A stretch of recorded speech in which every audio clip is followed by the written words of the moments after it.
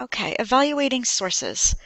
This is an important skill that you really need lifelong, and especially in the world we live in today. Um, as President Obama quoted just recently, um, we really need to discriminate between serious arguments and propaganda, um, not only in the classroom when you're doing a research paper, but in your everyday life. All right, so I'm hoping to give you the skills to look through your social media, look through any website that you might be on to decipher if you really can trust the information that you're looking at.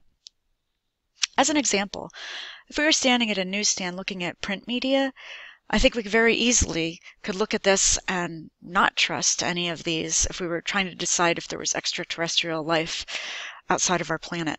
Um, right, Mad Magazine, it's satirical um, Weekly World News and the Enquirer are just really fake and sensational. And that UFO Truth magazine, I never heard of that. Why would I trust that? Um, and you know that that's how you would judge this if you were in a newsstand. But then you might come across Scientific American and Time. Well, they're trusted. Um, we've known them all growing up. Um, but you still would sort of need to look into them. Uh, make sure you really can trust the information. You might also see this Journal of Astrobiology and Outreach. A less fancier name, a less fancy cover, uh, but it holds some weight, and when you look inside, you see that it's scholarly content and backed up with a whole lot of research. This is probably the source you would pick. Pretty easy when you're looking at print, and something that we're very used to making judgment calls on.